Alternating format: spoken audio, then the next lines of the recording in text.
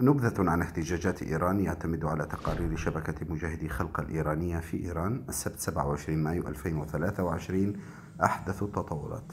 استمرت الاحتجاجات في عدة مدن في إيران يوم السبت واحتشد عمال شركة ماكوش للصلب في بندر عباس العاصمة الإقليمية لمحافظة هرمزجان جنوب إيران خارج مكتب حاكم الولاية مطالبين بحقوقهم بما في ذلك تأخيرات الرواتب والمعاشات التقاعدية.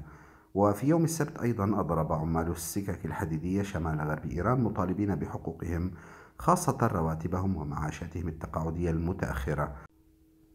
وبعد تبادل السجناء بين بلجيكا والنظام الإيراني الذي أفضى إلى إطلاق سراح الدبلوماسي الإرهابي الإيراني المدان أسد الله أسدي من السجن وإعادته إلى إيران يتجمع الإيرانيون المحبون للحرية وأنصار المعارضة الإيرانية مجاهدي خلق يومي الجمعة والسبت في عدة مدن في أنحاء أوروبا لإدانة هذا العمل الاسترضائي الشنيع.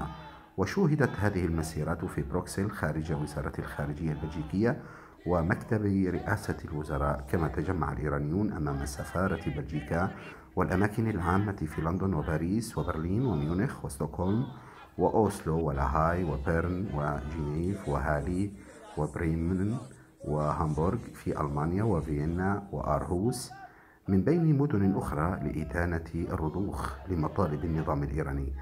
وذكر هؤلاء المتظاهرون أوروبا والغرب بأن سياسة الاسترضاء الفاشلة التي انتهجوها تجاه طهران لن تؤدي إلا إلى زيادة جرأة نظام الملالي باعتباره الدولة الرائدة في العالم الراعية للإرهاب في مزيد من الأعمال العدائية والإرهابية بما في ذلك التخطيط لهجمات إرهابية وتوسيع دبلوماسية اختطاف الرهائن سيئة السمعة. شكرا للمتابعة.